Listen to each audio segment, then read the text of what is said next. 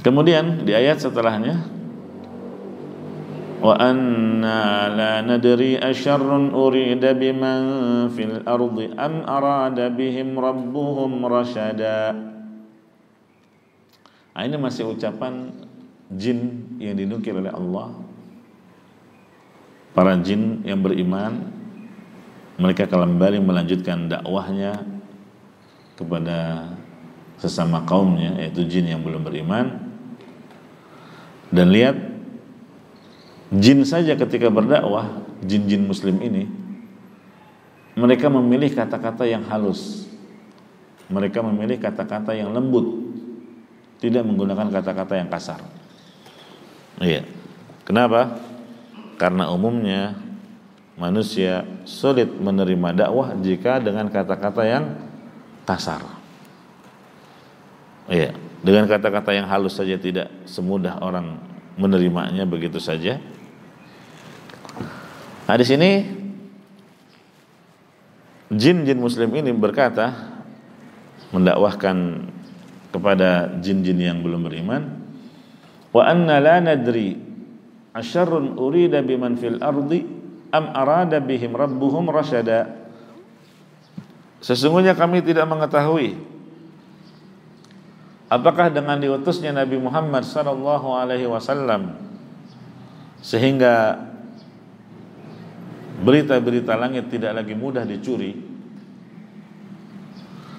Apakah itu merupakan keburukan bagi para penghuni bumi ini ataukah kebaikan yang Allah kehendaki bagi mereka?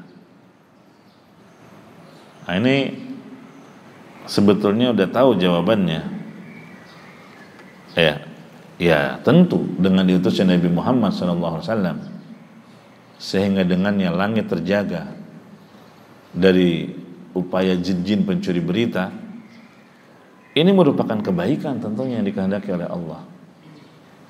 Gitu ya. Jadi ini cuma metode penyampaian.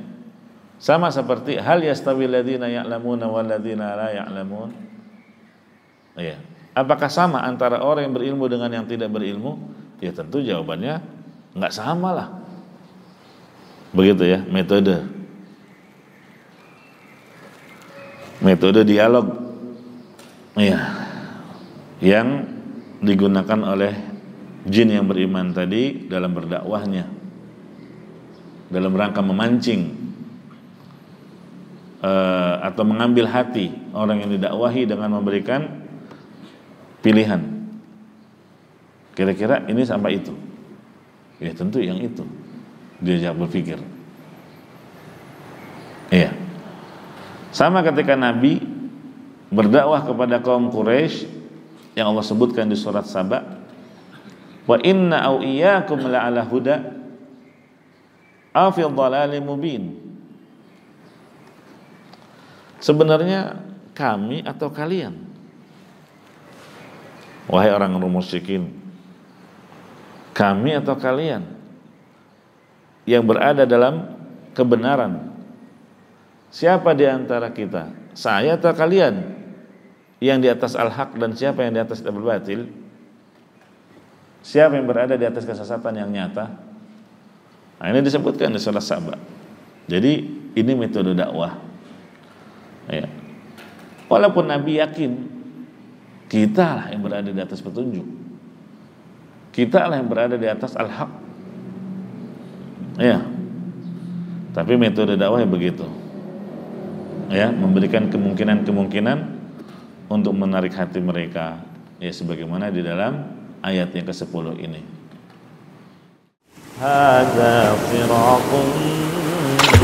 mustaqim.